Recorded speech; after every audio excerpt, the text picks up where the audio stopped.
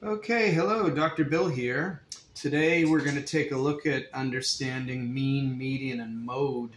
Frequently these concepts are confused, so we want to go through a problem here and make sure you understand them all well.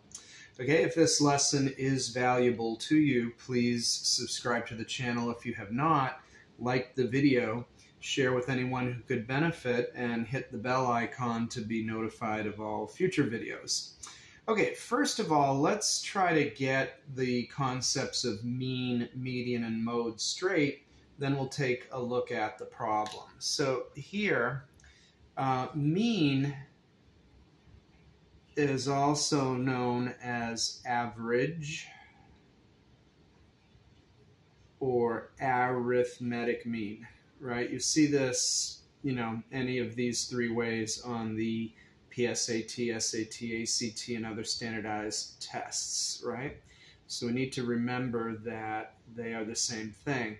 Frequently, the tests will talk about mean and then put arithmetic mean in parentheses, right?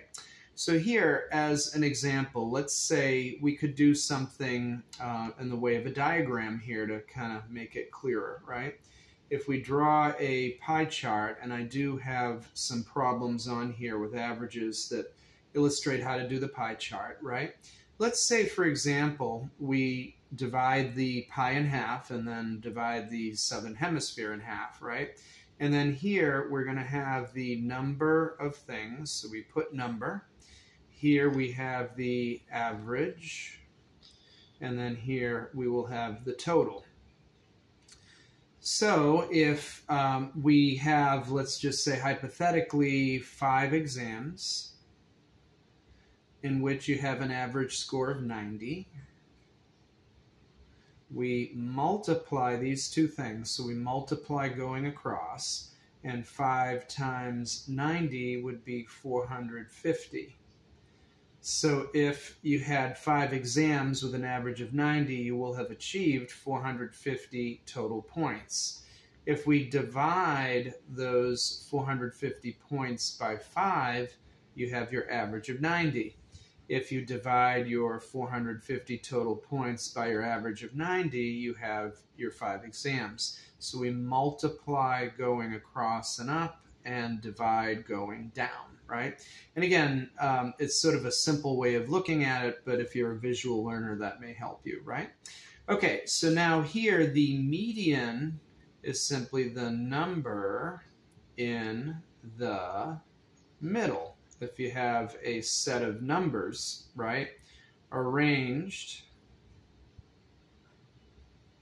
from low to high. Now you need, when you're figuring out a median, you need to always make sure that you do arrange your numbers from low to high, right? So for example, if we have an odd number of numbers, it's quite easy, right?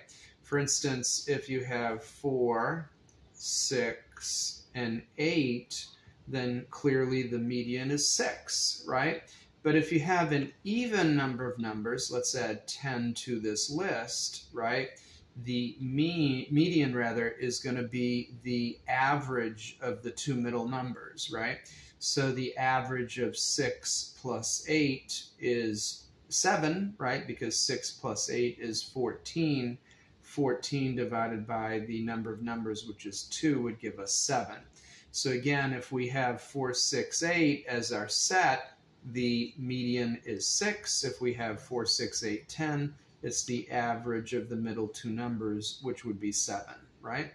Okay, mode. Mode is simply the most frequent number. So here, one way I remember it is big M, big O, mode, equals most right? Big M, big O. So the most frequent numbers. So if we have a set of uh, five numbers, in this case, 4, 6, 8, 10, and 10 again, then 10 would be the mode because it occurs twice, right? It is important to add that mode.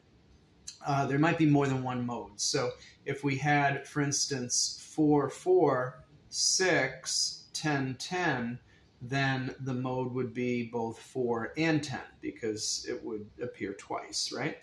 So now with these things in mind, let's take a look at uh, a problem here. So it says El Mayoral LLC's employees have a mean salary of $100,000 per year and a median salary of $60,000 per year.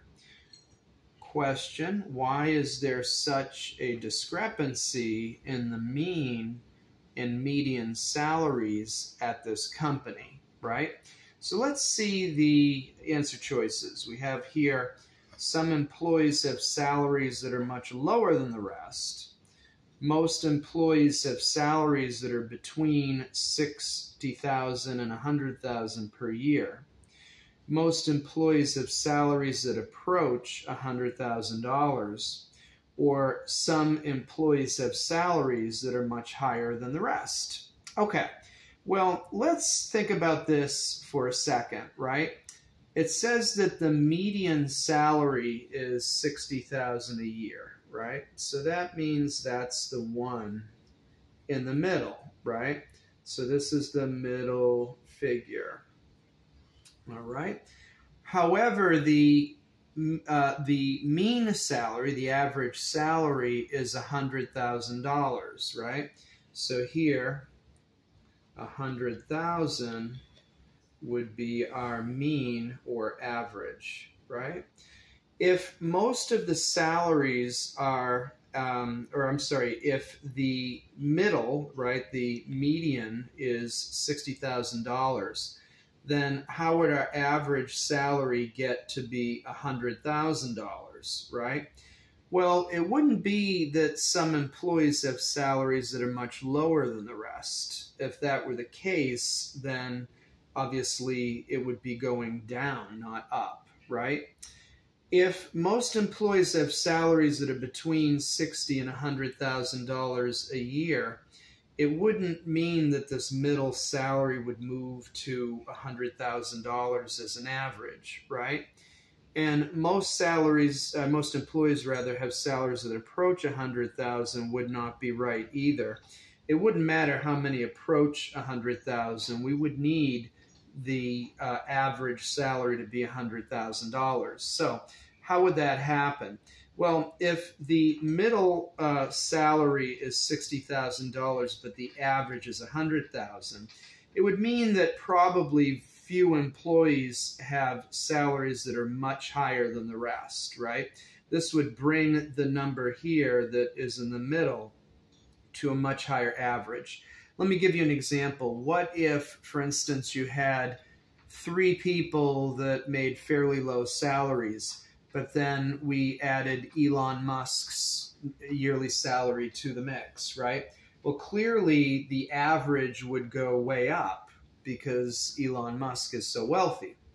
And that would mean that um, really he's the only reason why that, you know, average salary is moving so high the median salary of those four would be, you know, obviously pretty low. So here again, you add uh, a, an employee or some employees that have very high salaries, then that would bring the median way up to a much higher average. So our answer here is D as in dog, okay? I hope this lesson on mean, median, and mode was helpful. If it was, again, please subscribe like the video, hit the bell icon to be notified of future videos, and please share with anyone who could benefit. This is Dr. Bill. Thank you very much, and we'll see you on the next video.